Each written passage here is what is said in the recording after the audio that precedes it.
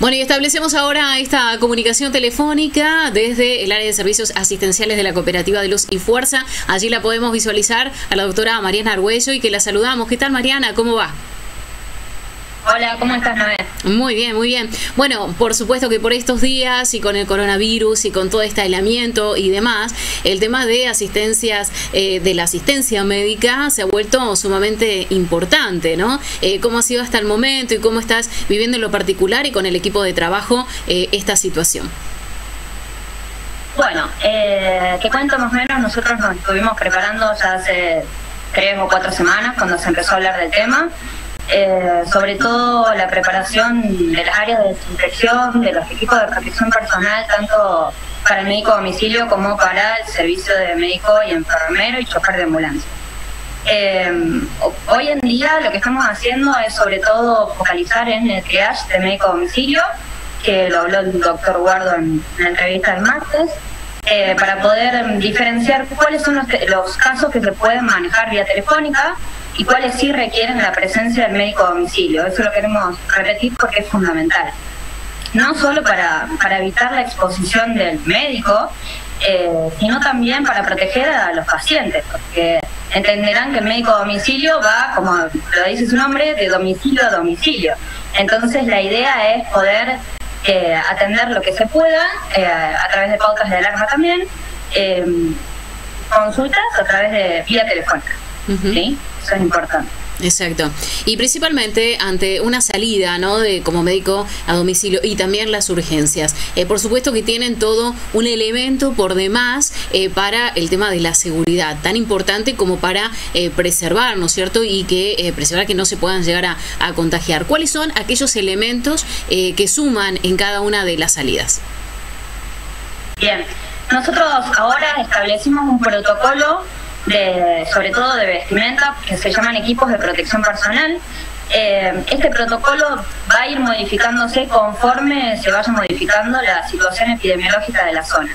Por ahora tenemos la suerte de no tener casos confirmados en el área, por lo tanto tenemos que tratar de cuidar al máximo eh, los materiales que tenemos, tanto las batas como las cofias, como las eh, gafas, como los barrijos. Entonces establecimos un protocolo en donde el médico a domicilio va a utilizar eh, una bata cuando vaya al domicilio, que son las largas, que son batas descartables, eh, barbijo quirúrgico y guantes. ¿sí? Eh, de ser posible también utilizará las gafas.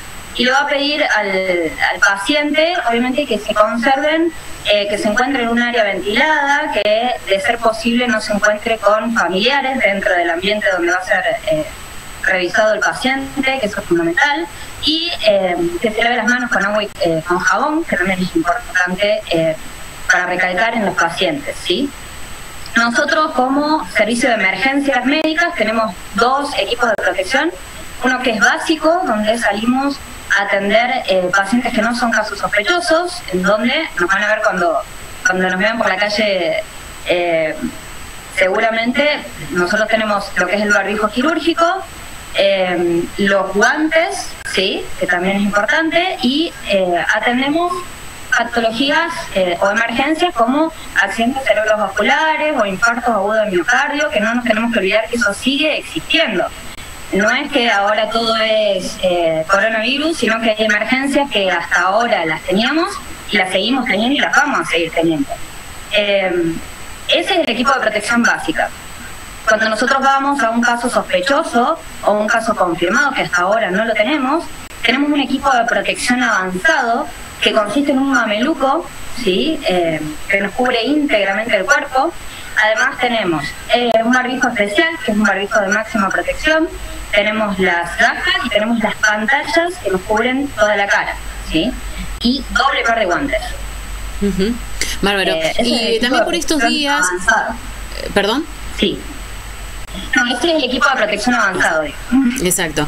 Eh, por estos días decíamos, bueno, hay gente que se ha solidarizado también, que está realizando eh, barbijos o estas eh, máscaras protectoras y demás. En el caso de servicios asistenciales, ¿está cubierto? ¿Hay alguna necesidad en particular? ¿Cómo la gente de pronto también puede llegar a, colaborar en algún sentido? Cuando, por ejemplo, llegan hasta la vivienda, ¿de cuáles son algunos elementos a tener de primera necesidad cuando ustedes los visitan? Bien, nosotros eh, por ahora, nosotros como equipo, eh, en la parte de, como profesionales de la salud y tanto los choferes como los enfermeros, tenemos el material para actuar.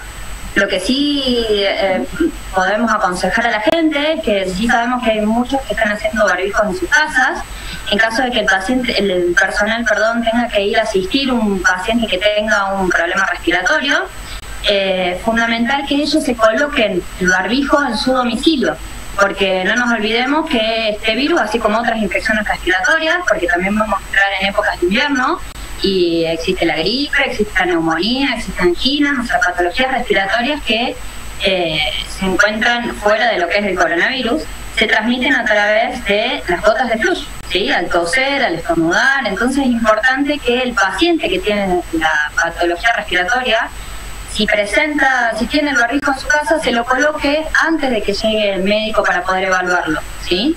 y eh, de ser posible, luego de colocarse el barbijo, que se lave las manos con agua y con jabón con un mínimo de 60 segundos de tiempo, porque inactiva el virus con el jabón, ¿sí? Es muy importante doctora, muchísimas gracias, muy clara en toda la explicación y bueno, por supuesto que en lo sucesivo vamos a estar en comunicación para seguir acercando tanto las recomendaciones y eh, también dar cuenta un poco de cómo se viene trabajando eh, desde el área, que como decía se, ha modificado con el correr de los días, pero siempre atendiendo eh, todas las necesidades de Villa Canaverano y toda la zona de cobertura de servicios asistenciales. Muchísimas gracias y las felicitaciones por todo el trabajo que llevan adelante.